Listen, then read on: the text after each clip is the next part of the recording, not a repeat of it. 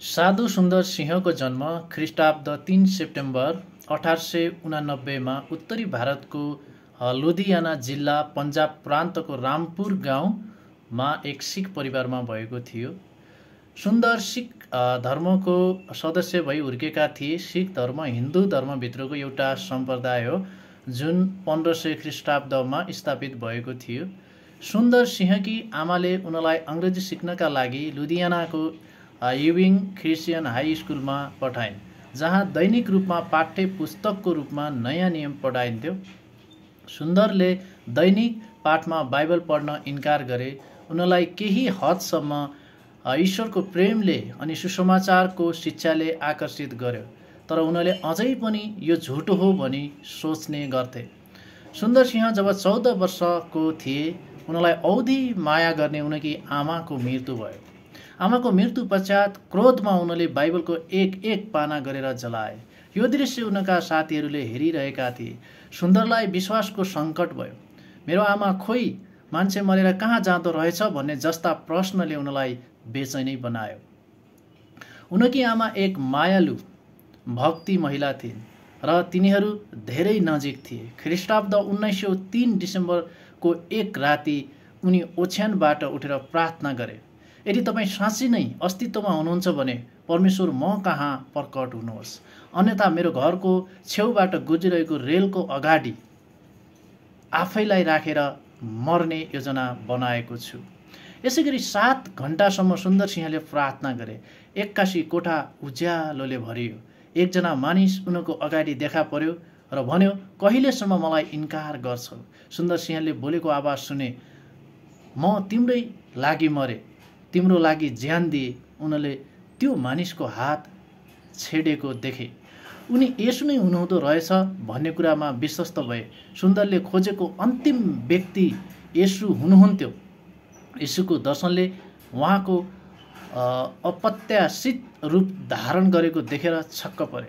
सुन्दरले आफ्नो हृदयमा यसु नै साँचो मुक्तिदाता हुनुहुन्छ र उहाँ जीवित परमेश्वर हुनुहुन्छ भन्ने कुरामा विश्वस्त भए। सुन्दरले उहाँको अगाडि घुँडा टेके र अचम्मको शान्ति अनुभव गरे जुन उनले पहिले कहिल्यै महसुस गरेका थिएन।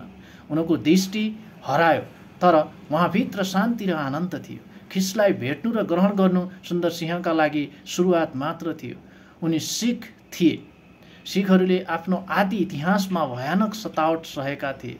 त्यसैले तिनीहरू आफ्नो विश्वास र एक अर्काप्रति कडा रूपमा वफादार थिए सिख धर्ममा क्रिस्चियन विश्वासमा परिवर्तन हुनुलाई विश्वासघात मानिन्थ्यो।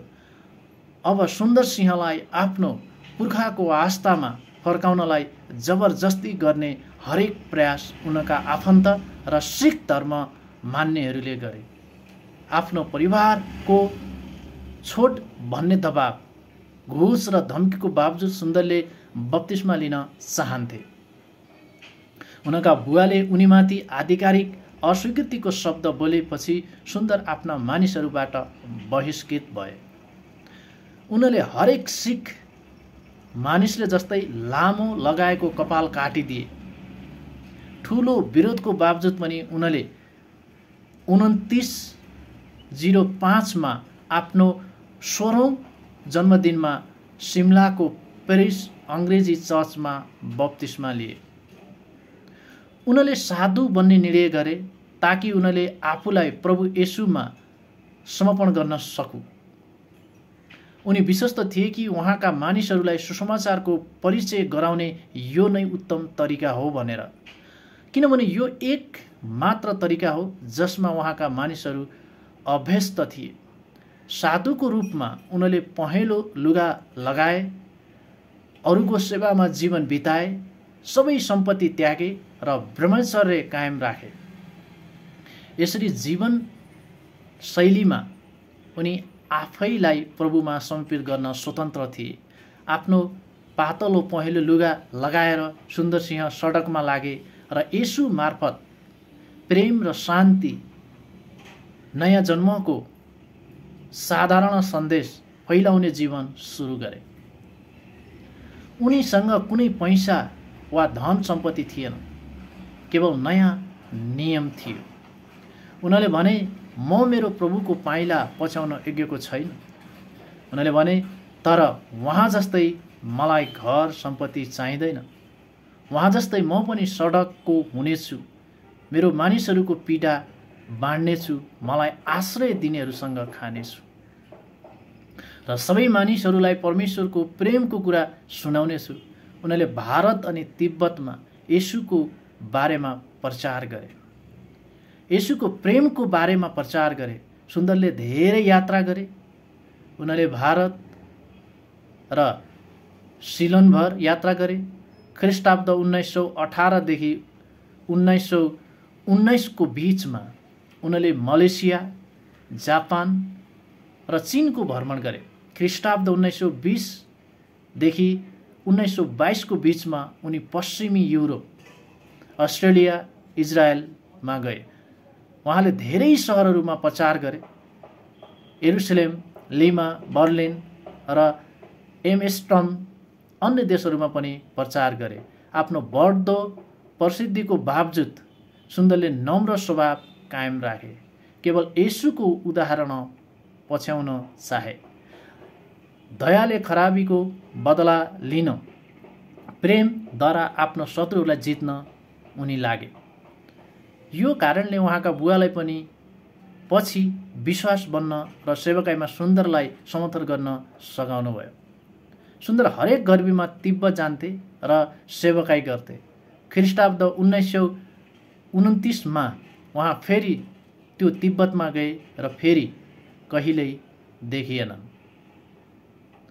निकै नै विश्व प्रसिद्ध गीत यसुको पछि महिना लागे फर्कदिन फर्कदिन। गीतका रचयता पनि साधु सुन्दर सिंह नै थिए। परमेश्वरले आशा विहीनलाई आशा दिनुहुन्छ निराशामा परेकाहरूलाई शान्ति दिनुहुन्छ थाकेर जीवनको अन्तिम अवस्थामा पुगेकाहरूलाई विश्राम दिनुहुन्छ। यसुले नयाँ जीवन दिनुहुन्छ। उहाँ नयाँ जीवन दिने परमेश्वर हुनुहुन्छ। परमेश्वरलाई महिमा भएको होस्। यहाँ यसु साधु सुन्दर सिंहको अगाडि चाहिँ प्रकट हुनुभयो जबकि उन आफ्नो जीवनको अन्तिम अवस्थामा पुगेका थिए। र परमेश्वरले उनलाई नयाँ जीवन दिनुभयो अनि विभिन्न देशमा गएर यसुको बारेमा प्रचार गर्न सक्ने भए र हामीलाई पनि परमेश्वरले नयाँ जीवन दिनुहुन्छ र हामीलाई विश्राम दिनुहुन्छ शान्ति दिनुहुन्छ। हाले लुइया